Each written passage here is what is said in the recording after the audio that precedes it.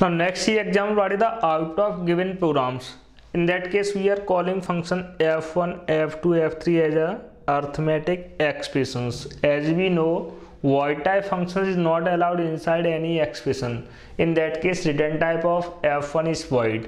इस केस में f1 function है void टाइप के फ़ंक्शन से वैल्यू रिटर्न कराना पॉसिबल लेकिन void टाइप के फ़ंक्शंस किसी भी एक्सप्रेशन में राइट डाउन करना पॉसिबल नहीं इसलिए इस केस में रेज हो अ कंपाइल टाइम एरर्स